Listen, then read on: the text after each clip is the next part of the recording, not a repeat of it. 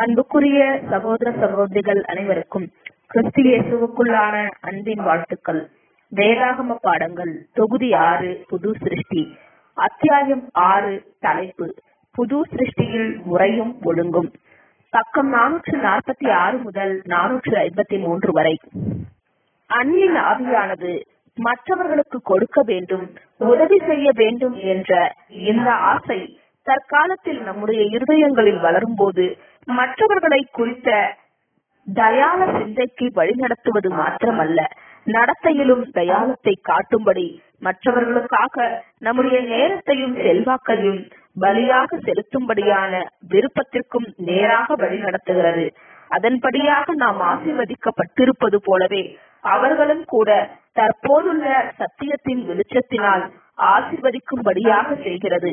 இதே ஆவி போதிக்கவோ விலக்கி கூறவோ தாளந்து இல்லாதிருக்கும் போது நம்முடைய நேரம் என்கிற தாளந்தையும் வாய்ப்பையும் பயன்படுத்தி துண்டு பிரதிகள் போன்றவற்றை விநியோகிக்கும்படியாக வழிநடத்துகிறது இப்படி செய்யும் வேளையில் எவ்வளவுதான் சுருக்கமாக இருந்தாலும் காலத்திற்கேற்ற ஒரு சத்திய வார்த்தையை சொல்ல வேண்டும். நமக்கு பணம் என்ற தாழ்ந்து இருக்கும் என்றாலும் அதை சுவிசேஷத்தை பிரகடனம் செய்யும் ஆண்டவருடைய ஊழியத்தில் பயன்படுத்தும்படி அந்த ஆவி வழிநடத்துகிறது. காணிக்கை பெட்டியிலே இரண்டு காசை போட்ட ஏழை விதவையின் மனப்பாங்கை. ஆண்டவர் அப்பொழுது ஆதரித்தது போல இன்றைக்கும் ஆதரிக்கிறார் என்று நாம் நம்புகிறோம். அவளுடைய தன்னலமற்ற செயல் இந்த சிறு காணிக்கையின் மூலம் வெளிப்பட்டது.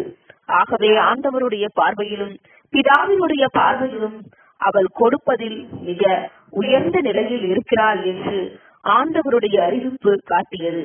அவருடைய இருதயத்தின்படி இவளோ தன் வறுமையிலிருந்து தன் ஜீவனத்துக்கு உண்டாயிருந்ததை எல்லாம் போட்டுவிட்டாள் என்றார். லூகா இருபத்தி ஒன்றாம் அதிகாரம் நான்காம் வசனம்.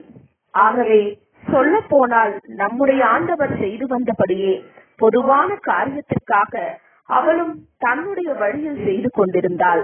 ஒரு ஜீவனத்தை கொடுத்தது மாத்திரமல்ல. தன்னுடைய ஜீவனையே அனுதினமும் ஒவ்வொரு மணி நேரமும் மற்றவர்களுக்கு ஊழியம் செய்வதில் கொடுத்தார். கடைசியில் கல்வாரியில் முற்றும் முடிய தன்னுடைய கிரியையை நிறைவேற்றினார். நம்முடைய ஆண்டவர் அந்த ஏழை விதவையை தன்னுடைய கடமைக்கு அதிகமாக செய்தாள் என்று எச்சரிக்கவில்லை என்று ஆச்சரியப்பட முற்படலாம். அவளிடத்தில் இரண்டு காசு மாத்திரம் இருந்ததால் அவர்கள் இரண்டையும் அவள் வைத்திருந்திருக்கலாம். அல்லது அவளுடைய தேவைகளுக்கு என்று ஒன்றையாவது வைத்திருந்திருக்கலாம் என்று நினைக்க தோன்றலாம்.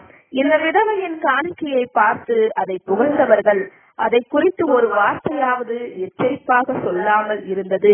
நம்முடைய ஆண்டவரோ அல்லது அப்போஸ்தலர்களில் ஒருவரோ இல்லாமல் வேறு யாராவது இருந்திருந்தால் அவர் அந்த எச்சரிப்பின் வார்த்தையை சொல்லுவதற்கு பூரண சுதந்திரத்தோடு இருந்திருப்பார். ஆனால் ஒட்டுமொத்தமாக பார்க்கும்போது தனக்கானதை பாதுகாத்துக் கொள்ள வேண்டும் என்ற ரீதியில் எச்சரிக்கப்பட வேண்டும் என்பது ஒரு சிலருக்கே தேவைப்படும் என்று நாம் நம்புகிறோம். தங்களுடைய ஜீவனத்திற்கு என்று உள்ளவைகள் எல்லாவற்றையும் கொடுப்பது என்பதற்கு எதிராக ஒரு சிலருக்கே எச்சரிப்பு தேவை. அப்படி ஒரு சிலர் இருக்கலாம். ஏழை விதவையை போன்று ஒரு சிலர் இருக்கலாம் என்று நாம் நம்புகிறோம்.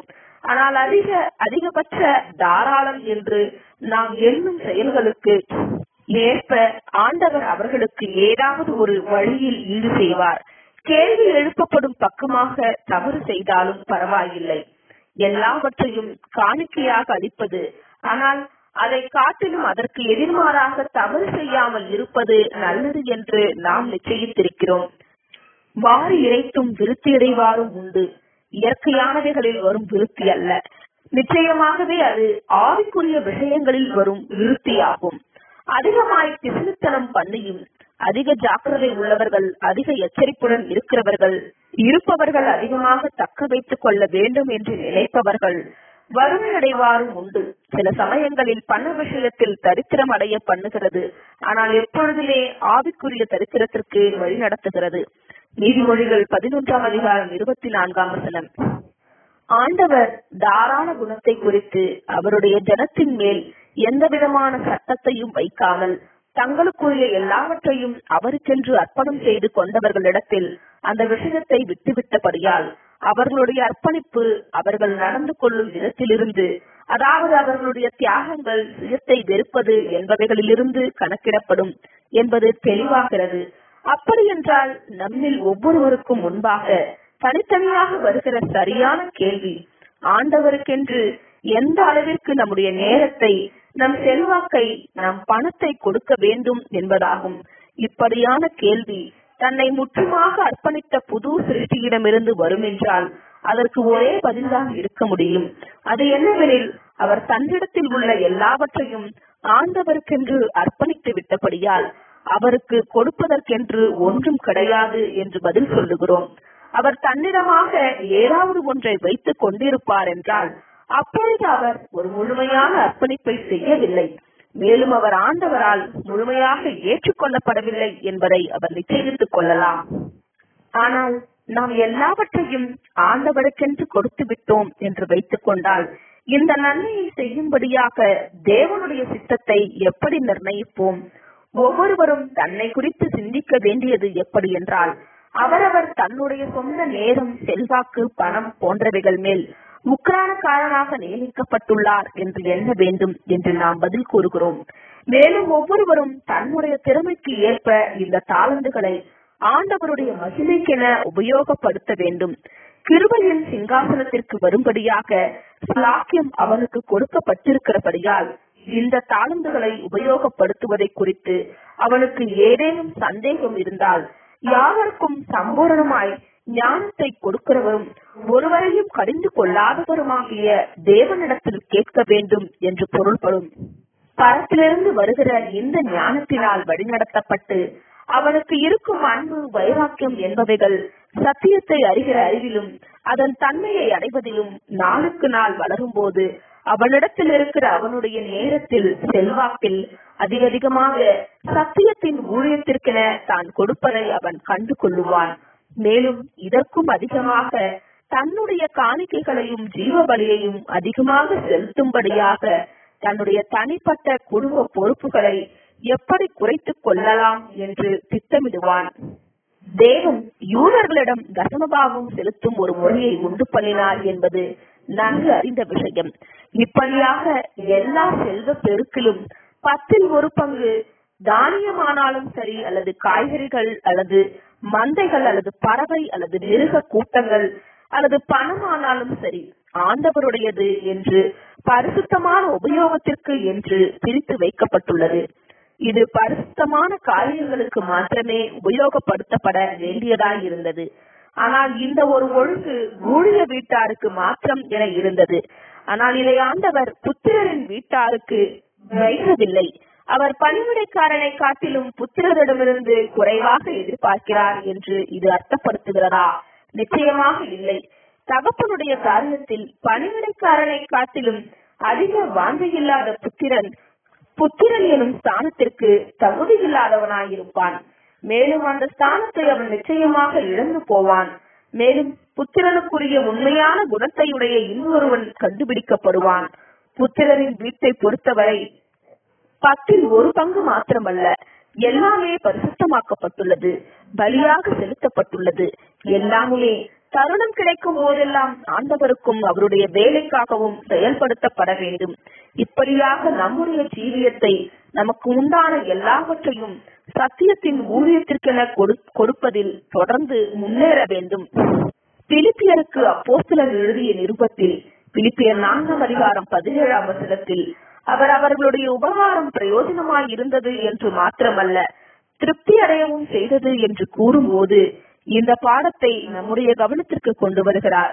மேலும் அவர் உபகாரத்தை நான் நாடாமல் உங்கள் கணக்கு பலன் பெருகும்படியே நாடுகிறேன் என்று கூறுகின்றார். அவர்கள் பரிசுத்த ஆவியினால் மறுபடியும் பிறந்து இருக்கிறபடியால் அது நல்ல கிரியைகளின் கனியையும் தயாளத்தையும் கொண்டு வரும் என்று அவர் நிச்சயமாக அறிந்திருந்தார்.